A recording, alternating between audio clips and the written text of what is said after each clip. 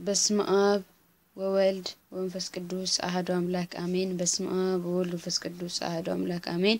በስመ አብ ወወልድ ወመንፈስ ቅዱስ አሐዱ አምላክ አሜን። እሺ ወገኖቼ ካቆምንበት እንቀጥላለን። ለማስታወስ ያክል ከዚህ በላይ ያነሳነው ሁሉ ወደሚቀጥለው ምዕራፍ ማለትም ዲያብሎስ በውጊያዎቹ ውስጥ የሚታወቅባቸው ባህሪያት ወደሚለው እንደሚያሸጋግረን አጠር እንዲያሸጋግረን አጠር ያለ መግቢያ ነው። ምዕራፍ ሁለት ዲያብሎስ በውጊያዎቹ ውስጥ የሚታወቅባቸው ባህሪያት የጠላታችንን የውጊያ ጥበብ በውጊያዎቹ ውስጥ መገለጫ ባህሪያቱና በምን አይነት ዘዴ እንደሚዋጋን ማወቃችን እንዴት መልሰን እንደምንዋጋው ስለሚያስችለን ይጠቅመናል። ዲያብሎስ በውጊያዎቹ ውስጥ የሚገለጥባቸው ባህሪያት እንደምን ያሉ ናቸው? እንዴት ይዋጋል? የውጊያ ዘዴውስ ተመሳሳይ ነው ወይስ እንደ ሁኔታው ይቀያየራል? የሐዋርያው የቅዱስ ጳውሎስን ቃል አብነት አድርገን በእነዚህ ጥያቄዎች ዙሪያ በመነጋገር እንዴት ዲያብሎስን መቋቋም አንስተውምና ሁለተኛ ቆሮንጦስ ሁለት አስራ አንድ እንደ መጽሐፍ ቅዱስ ቃል ስለ ዲያብሎስ ከዚህ የሚከተሉትን ባህሪያቱን እናውቃለን። አንደኛ ያለማቋረጥ ተዋጊ ነው። ሰይጣን ከወደቀበት ጊዜ አንስቶ ዋና ዓላማው ጠብ መጫርና መዋጋት ሆኗል። እርሱ ምን ጊዜም ተዋጊ ነው። የቀደሙት ወላጆቻችን አዳምና ሔዋንን ከመዋጋቱ አስቀድሞ ተዋጊ ስለነበረ ብዙ ቅዱሳን በኋላ ተዋግቶ መጣልን ልማዱ አድርጎታል። ስለዚህም መሰረት ስለዚህም መሰረት ኪሩብን ሊቃናትን፣ ስልጣናትን፣ ኃይላትን፣ ነቢያትንና ሐዋርያትን የተመረጡትንም ሳይቀር በመዋጋቱ ቀጥሏል መዋጋቱን ቀጥሏል። ባህታውያንን፣ መናንያንን፣ መነኮሳትንና እግዚአብሔርን የሚወዱትንም ይዋጋል።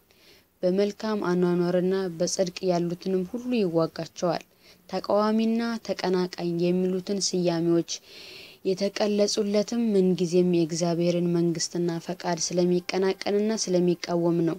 ዘንዶ የቀደመው እባብ ሰይጣን ዲያብሎስ የሚሉትም የሚባሉትም የእርሱ መጠሪያዎች ናቸው። ራእይ 12 9 ከክርስቶስ ስቅለት አስቀድሞ የዚህ ዓለም ገዢ ተብሏል። ዮሐንስ 14 30 ውጊያውን አቋርጦ ደክሞና እረፍት ወስዶ አያውቅም። ምንጊዜም ቢሆን እንደሚያገሳ አንበሳ ይዞራል። አንደኛ ጴጥሮስ አምስት ስምንት በኢዮብ ታሪክ እንደምናነበው ከአንድም ሁለት ጊዜ ለእግዚአብሔር ስራ ፈት አለመሆኑን ተናግሯል። ምድርን ሁሉ ዞርኋት፣ በእርሷም ተመላለሱ፣ በምድር ላይ ዞርሁ፣ በእርሷም ተመላለሱ።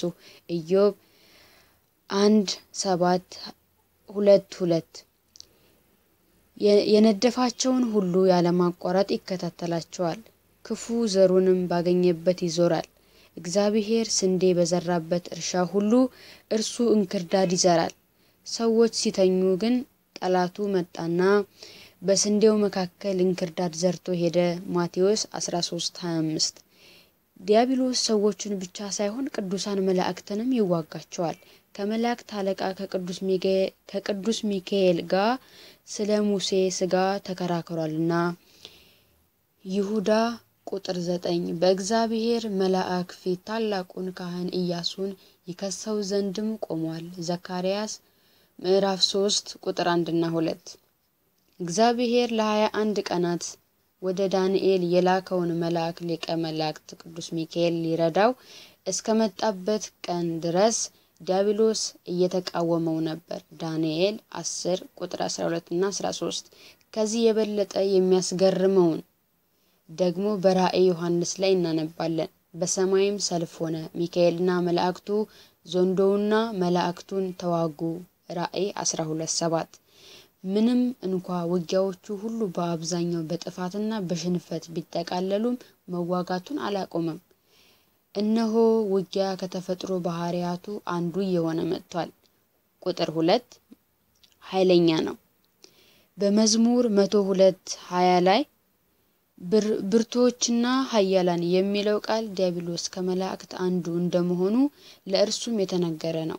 እንደ መላእክቱ ንጽህናና ቅድስናውን አጣ እንጂ ኃይሉን አላጣም። ስለዚህም ነው ሐዋርያው የሚያገሳ አንበሳ ያለው አንደኛ ጴጥሮስ አምስት ስምንት በመጽሐፈ ኢዮብ ውስጥም ቅዱስ ኢዮብን ከእግሩ ጫማ ጀምሮ እስከ አናቱ ድረስ በክፉ ቁስል መታው የሚል ታሪክ እናነባለን።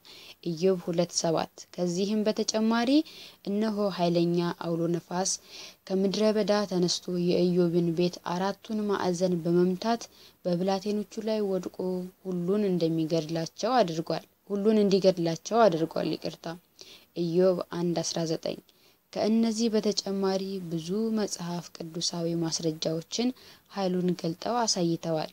ከእነዚህም የሚከተሉትን ያገኙበታል። በጥፋት ውሃ ዘመን ዲያብሎስ ዓለሙን ሁሉ ወደ ጥፋት መምራት ችሏል።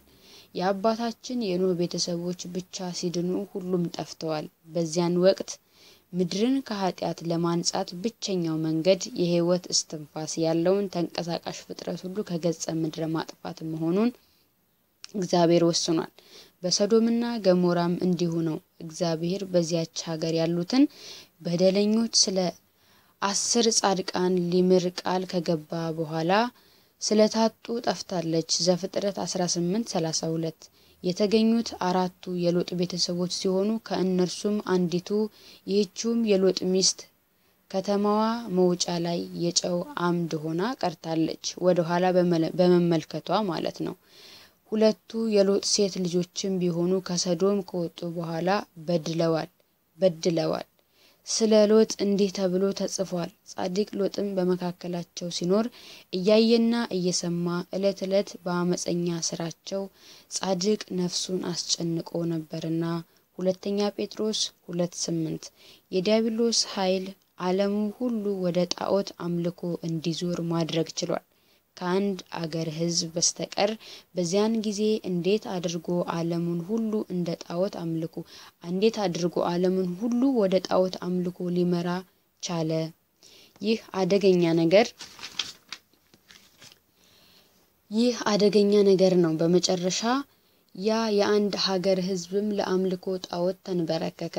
ሙሴ በተራራው ላይ ሳለ ወገኖቹ በወርቅ ቀልጦ ለተሰራ የጥጃ ምስል የሚቃጠል መስዋዕት አቅርበው እንዲህ አሉ፣ እስራኤል ሆይ እነዚህ ከግብፅ ምድር ያወጣውህ አምላክህ አማልክትህ ናቸው።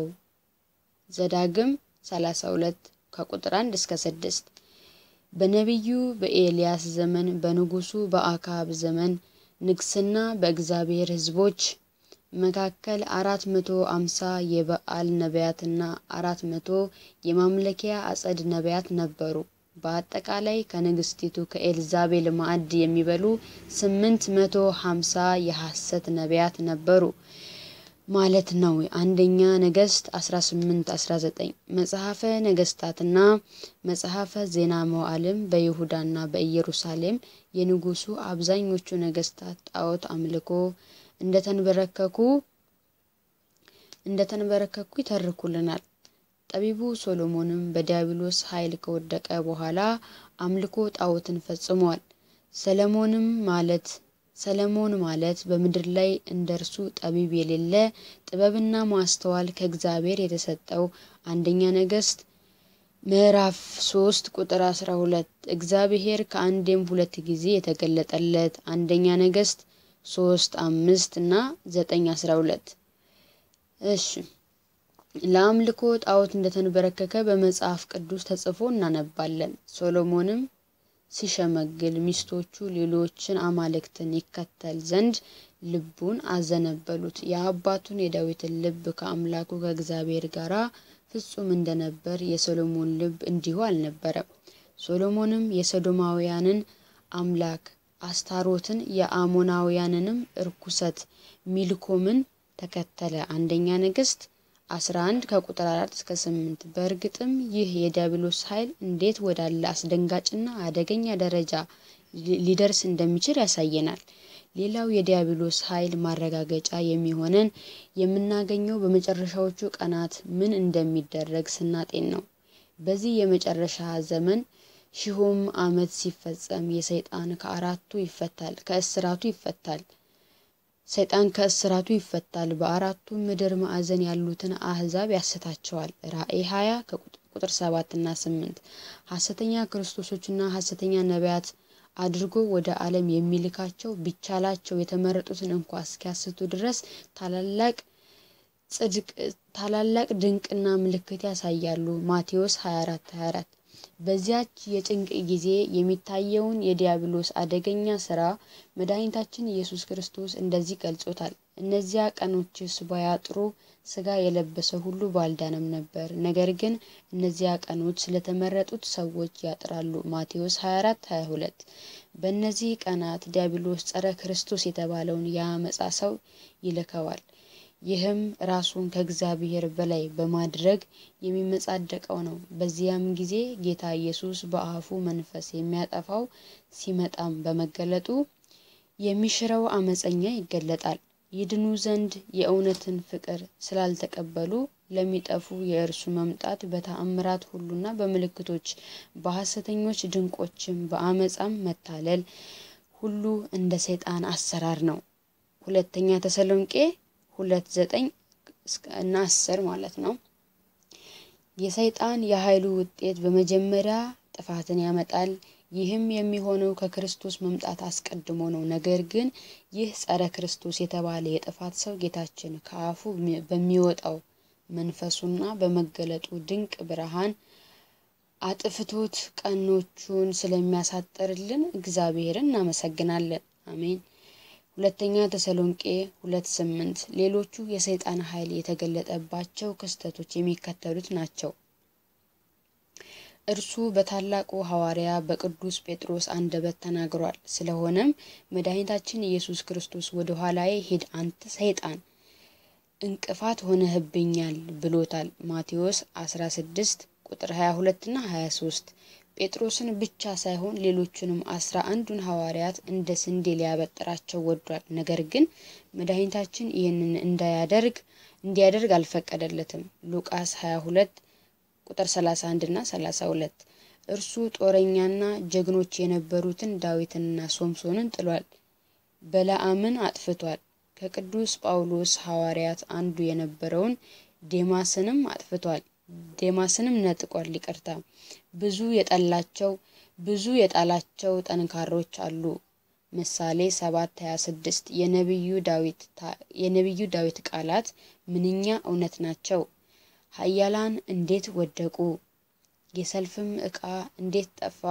ሁለተኛ ሳሙኤል 1 27 ሌላው ኃይሉ በብዙዎች ላይ በአንድ ጊዜ ተገልጦ መታየቱ ነው። አንዳንድ ሰዎች ዲያብሎስ ከእነርሱ ይወጣላቸው ዘንድ ይወዳሉ።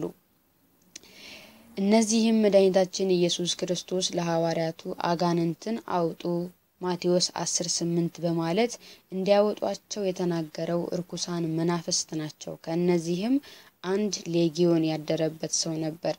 ማርቆስ አምስት ዘጠኝ ስለዚህ እርኩስ መንፈስ ሊያሸንፈው የሚችል አልነበረም። ማርቆስ አምስት አራት የሚል ቃል ተጽፎ እናነባለን። በዚያን ወቅት የኢየሱስ ክርስቶስ ደቀ መዛሙርት እንደነዚህ ያሉትን እርኩሳን መናፍስት ከሰዎች ማስወጣት ተስኗቸው ነበር። ስለሆነም ጌታችን እንዲህ አለ፣ ይህ ወገን በጸሎትና በጾም እዚህ ጋር እናጥብቅበት ወገኖች፣ በጸሎትና በጾም ካልሆነ በቀር በምንም ሊወጣ አይችልም። ማርቆስ ዘጠኝ ዘጠኝ ይህ ኃይል ስላለውም ይሆናል እግዚአብሔር ለአንድ ሺህ ዓመታት ያሰረው የቀደመውን እባብ ዘንዶውን እርሱም ዲያብሎስና ሰይጣን የተባለውን ያዘው ሺህ ዓመትም አሰረው፣ ወደ ጥልቁም ጣለው። ከዚያም በኋላ ለጥቂት ጊዜ ይፈታ ዘንድ ይገባዋል። ራእይ ሀያ ሁለትና ሶስት ቁጥር ሁለትና ሶስት ይሁን እንጂ ስለ ዲያብሎስ ይሁን እንጂ ስለ ዲያብሎስ ኃይል ከዚህ በላይ የተናገሩት ሁሉ አንተን ሊያስፈሩህ አይገባም። ምክንያቱም ምንም እንኳ ዲያብሎስ ኃይለኛ ቢሆንም ኃይሉ ከእግዚአብሔር ኃይል ስለማይበልጥ ነው። እውነት ነው። ይህም በመሆኑ እግዚአብሔርን ብቻ አይደለም ብዙ ቅዱሳን አባቶች ድል ስለሚያደርግ ውስጥ ይፈራቸዋል ይላል። እዚህ ጋር እናቁም። ያነበብነውን እንግዲህ በልቦናችን ያሳድርብን። ኃይሉን ብርታቱን ጽናቱን ይስጠን። ወገኖቼ ዛሬ ቁጥር አሁን ቁጥር 11 ላይ ነው ያቆምነው፣ ገጽ 11 ነው ያቆምነው። እንደ እግዚአብሔር ፍቃድ ደግሞ ጊዜ ባገኘው ሰዓት እንቀጥላለን ማለት ነው። ወስብሐት ለእግዚአብሔር ወለወላዲቱ ድንግል ወለመስቀሉ ክቡር ለዘላለሙ አሜን። ይቆየን።